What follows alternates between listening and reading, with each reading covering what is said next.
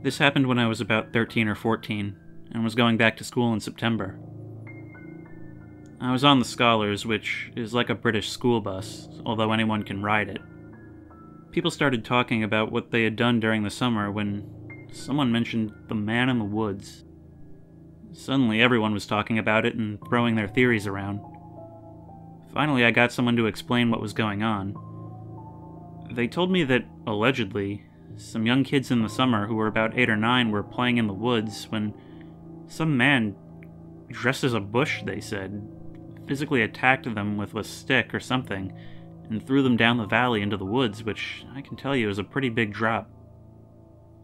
One of the kids told his mother, and she walked through the woods to see what was going on, and the same thing happened to her. Over the summer, this went on to happen to about five or six people, always women walking dogs or with their kids. I didn't believe a word of this and called shenanigans, but this went on for another month or so. One day, the Scholars was about to pull away from the bus stop when this one kid who always got on the bus was missing. I heard someone on the bus shout for the driver to wait. And we all looked out the back window, and here comes the kid running from the woods with some guy in what looked like a full ghillie suit chasing after him, holding what looked like a nightstick. Honestly, it was surreal. They eventually caught the guy. Some men used one of their kids as bait to lure him out, and and beat the tar out of him. It turned out he was some Kosovan refugee. I don't think he even got jailed for it, though. It was literally mentioned once in the paper and then completely memory holed around here. I've mentioned it to people, and they do remember, but they always say the same thing. I had forgotten all about that. For some reason, I always need to be reminded of it.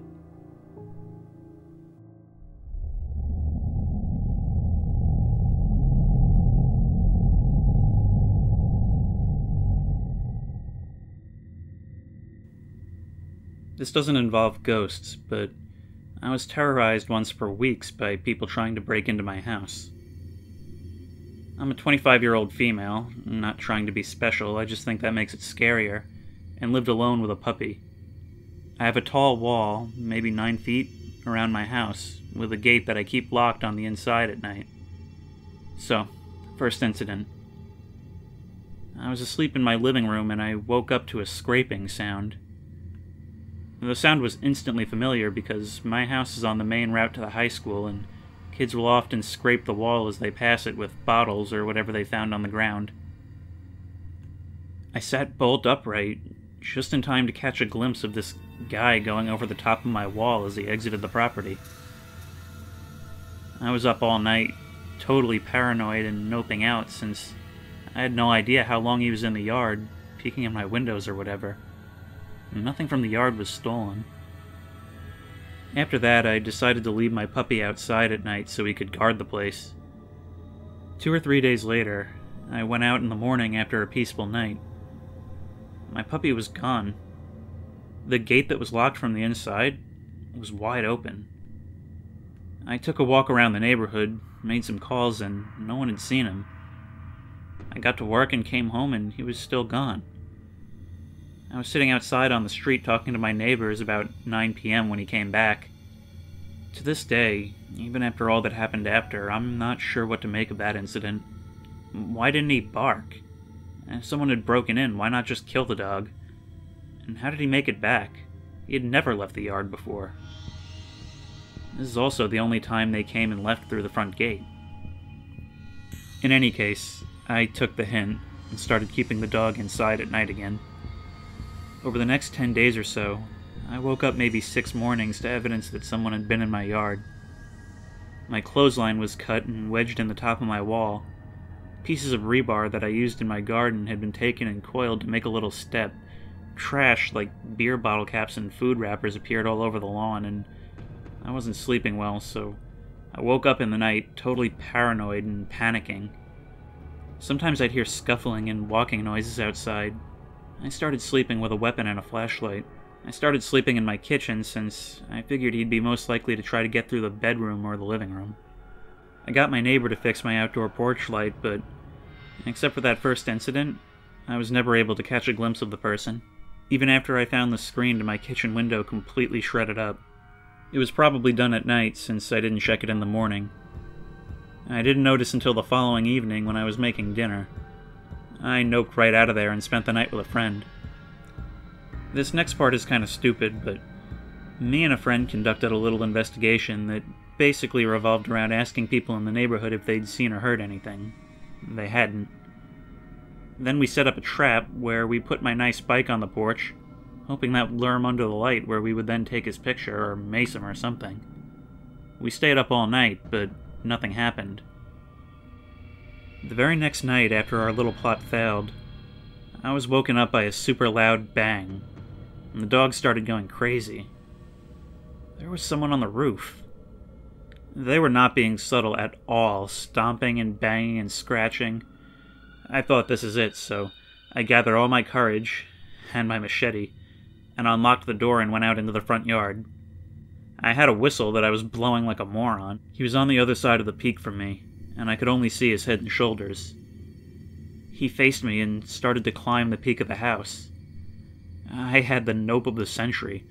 I ran out of my gate and into the street, blowing my whistle until someone came, leaving the house wide open. After a few minutes, a little search party had formed, ready to go into the house, but no one was there. I spent the night with a neighbor, and the night after, someone spent the night with me at my house.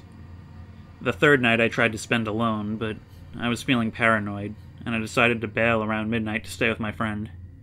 I came home from work the next day, and found that one of my ceiling tiles was displaced. Believe it or not, I lived in that house for another year and a half. I never had any more problems, though a few months after that my dog died. It was some kind of stomach issue. I'm still a bit affected by it psychologically.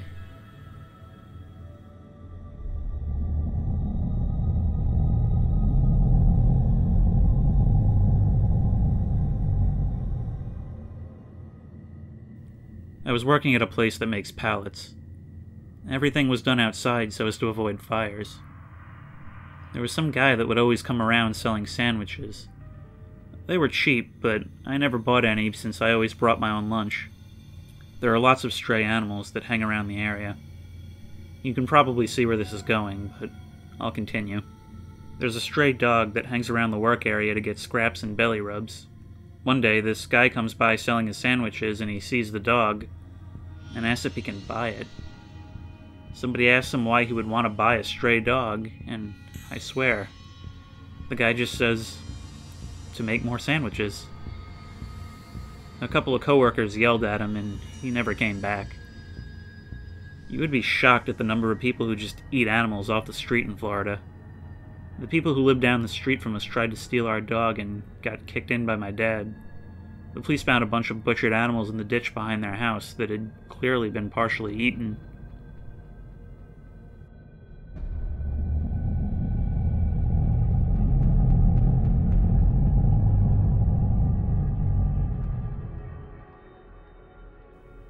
I was just leaving Tim Hortons at around 11 p.m., so it was fairly dark out.